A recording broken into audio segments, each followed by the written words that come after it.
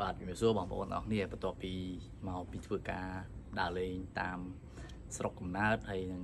ចូលមកធ្វើការធម្មតាអញ្ចឹងបងប្អូនក៏បើកក្រាស់ធម្មតាអញ្ចឹងបងប្អូនណាដែលមិនទាន់មាន scan អឺអាចតាក់ទងបានយើងមាន scan ដែលមានច្រើនប្រភេទតម្លៃមានចាប់ពីតម្លៃ200ជាងឡើង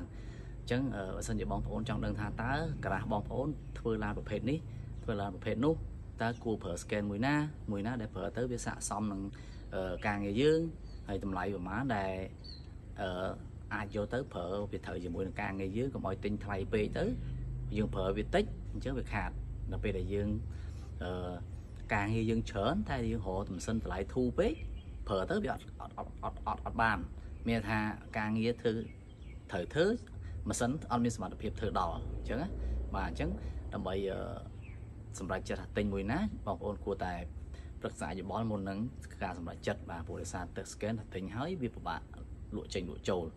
បាទអញ្ចឹងបងប្អូនបើសិនជាមានតម្រូវការអាចតាក់ទងបានយើងមាន stock ស្រាប់ហើយ model ថ្មីថ្មីឥឡូវគឺចូលមកទៀតហើយដូចជា expert 195បាទអាហ្នឹងអេក្រង់វាក៏ល្អមុខងារក៏ច្រើន ហើយវាធ្វើ support ឡានបានច្រើនម៉ាកច្រើនច្រើនសេរីបាទអញ្ចឹងបងប្អូនមានតម្រូវការអាចស៊ូបានណាអត់បញ្ហាអរគុណជំរាបលា